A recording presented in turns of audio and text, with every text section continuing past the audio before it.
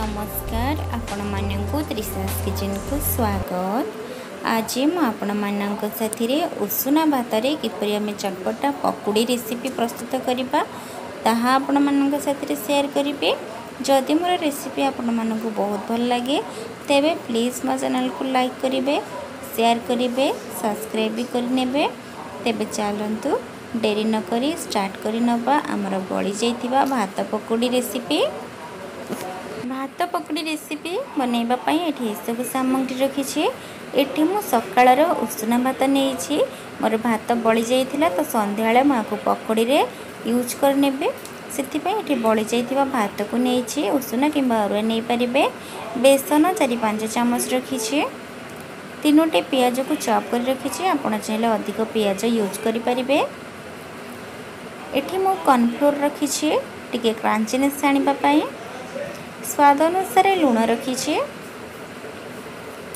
ଗୋଟା ଜିରା ରଖିଛି ଯେହେତୁ ବେଟରରେ ଗୋଳେଇ ଛାଣିଲେ ବହୁତ ଟେଷ୍ଟ ଲାଗିଥାଏ ଏବଂ ହଳଦୀ ଗୁଣ୍ଡ କିଛି ରଖିଛି। ଏଠି ମୁଁ ସାତ ଆଠଟି ଶୁଖା ଲଙ୍କାକୁ ଛେଚି ନେଇଛି ଦରଦରା କରି ଯାହାଦ୍ୱାରା ଆମର ଫ୍ଲେଭରଟି ବହୁତ ବଢ଼ିଆ ଆସିବ। ଅଦା ରସୁଣର ପେଷ୍ଟ ଛେଚା ନେଇଛି କିଛି ଭୃଷଙ୍ଗ ପତ୍ରକୁ କାଟି ରଖିଛି। ତ ପ୍ରଥମେ ଆମେ ବେଟର ପ୍ରସ୍ତୁତ କରି ନେବା ତ ସେଥିପାଇଁ ମୁଁ ଏଠି ଭାତରେ ସବୁତକ ସାମଗ୍ରୀକୁ ପକାଇ ନେବି। ପ୍ରଥମେ ବେସନକୁ ପକାଇ ନେଲି। ତାପରେ ଏଠି ରଖିଥିବା ଶୁଖା ଲଙ୍କା ଅଦା ରସୁଣ ଛେଚା ଏବଂ ଭୃଷଙ୍ଗ ପତ୍ରକୁ ପକାଇ ନେବି। ତ ଏଠି ସବୁ ପକାଇଦେଲି ଏବେ ଆମେ ସେଥିରେ ଗୋଟା ଜିରାକୁ ପକାଇ ନେବା।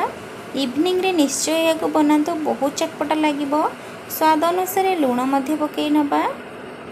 ତ ବଳିଯାଇଥିବା ଭାତକୁ ୱେଷ୍ଟ ନକରି ଏହିପରି ପକୋଡ଼ିରେ ୟୁଜ୍ କରିଦିଅନ୍ତୁ। ଖାଇବାକୁ ବହୁତ ଟେଷ୍ଟ ଲାଗିବ। କାଟି ରଖିଥିବା ପିଆଜକୁ ମଧ୍ୟ ପକାଇ ନେବି। ବର୍ତ୍ତମାନ ଏବେ ଏଥିରେ ଆମେ କିଛି ହଳଦୀ ଗୁଣ୍ଡକୁ ମିଶାଇବା ଯାହାଦ୍ୱାରା କି ପକୋଡ଼ିର କଲର୍ଟି ବହୁତ ଭଲ ଆସିବ। ଏବଂ ଏଥିରେ ଆମେ କର୍ଣ୍ଣଫ୍ଲୋର୍ ପକାଇବା ଯାହାଦ୍ୱାରା କି ଆମର ପକୋଡ଼ିଟା ଟିକେ କ୍ରାଞ୍ଚି ଲାଗିବ। ତ ଏବେ ଆକୁ ଆମେ ଭଲ ଭାବରେ ସବୁ ମିକ୍ସ କରି ନେବା ଅଳ୍ପ ପାଣି ଦେବା ବେଶୀ ପାଣି ଦେବେ ନାହିଁ ପାଣିଆ ହେଇଯିବ ନହେଲେ ବେଟରଟି ତ ପକୁଡ଼ି ଯେପରି ବନାନ୍ତି ସେହିପରି ଆମେ ଆକୁ ଗୋଳେଇ ନେବା। ତ ଏଠି ଦେଖିପାରୁଥିବେ ମୁଁ ହାତରେ ଚକଡ଼ି ଚକଡ଼ି ଗୋଟେ ବେଟର ପ୍ରସ୍ତୁତ କରିଦେଲି ଏବଂ ହାତରେ ଏହାକୁ ଧରି ଯଦି ଗୋଲ ହେଇଯାଉଛି ତାହେଲେ ପରଫେକ୍ଟ ହେଇଛି ଆଉ କିଛି ଏହାରେ ପକାଇବା ନାହିଁ। ତ ଏବେ ଆମେ ଆକୁ ଫ୍ରାଏ କରିବା।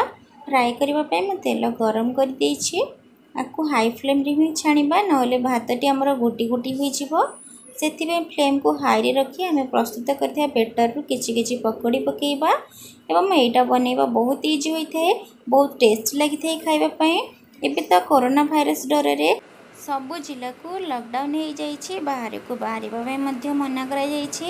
ତ ଆପଣମାନଙ୍କୁ ମୁଁ ରିକ୍ୱେଷ୍ଟ କରୁଛି ବାହାରକୁ ବାହାରନ୍ତୁ ନାହିଁ ପରିବାରର ଲୋକଙ୍କର ଧ୍ୟାନ ରଖନ୍ତୁ। ସେଥିପାଇଁ ଘରେ ଯେତେ ସମ୍ଭବ ହେଉଛି ପ୍ରସ୍ତୁତ କରି ଘରେ ନିଜେ ଗରମ ଗରମ ଖାଦ୍ୟ ଖାଆନ୍ତୁ ଏବଂ ହାତକୁ ବାରମ୍ବାର ସଫା ରଖନ୍ତୁ। ତ ଏଠି ମୋର ପକୁଡ଼ିଟି ପ୍ରସ୍ତୁତ ହୋଇଗଲା ଆକୁ ଏବେ ମୁଁ ଟ୍ରାନ୍ସଫର୍ କରିନେଲି ସବୁତକ ପକୁଡ଼ି ଛାଣି। ଏବେ ଆମେ ଏହାର ପ୍ଲେଟିଂ କରିନେବା। ପ୍ଲେଟିଂ ପାଇଁ ମୁଁ ଗୋଟେ ପ୍ଲେଟ୍ ନେଇଯାଇଛି। ସେହି ପ୍ଲେଟ୍ରେ ପ୍ରସ୍ତୁତ କରି ରଖିଥିବା ସ୍ୱାଦିଷ୍ଟ କୁରକୁରେ ପକୁଡ଼ିକୁ ରଖୁଛି। ତ ଆମର ଏଠି ପ୍ରସ୍ତୁତ ହୋଇଗଲା ବଳିଯାଇଥିବା ଭାତର ପକୁଡ଼ି ଏବଂ ସେଇ ତା ସହିତ ଖାଇବା ପାଇଁ କିଛି ଟମାଟୋ ସସ୍ ନେଇ ଆସିଛି ଯାହାଦ୍ୱାରା କି ଚଟପଟା ଟେଷ୍ଟ ସହିତ କିଛି ମିଠା ରହିବ ବହୁତ ଟେଷ୍ଟ ଲାଗିବ ଖାଇବା ପାଇଁ। ତ ଆଶା କରୁଛି ଆଜିର ରେସିପି ଆପଣମାନଙ୍କୁ ବହୁତ ଭଲ ଲାଗିଥିବ। ଯଦି ମୋ ରେସିପି ଭଲ ଲାଗିଥାଏ ତେବେ ମୋ ଚ୍ୟାନେଲକୁ ଲାଇକ୍ କରିବେ ସେୟାର କରିବେ ସବସ୍କ୍ରାଇବ୍ ବି କରିନେବେ। ମୁଁ ପୁଣି ଆସିବି ଏହିପରି ନୂଆ ନୂଆ ରେସିପି ନେଇ। ରହୁଛି।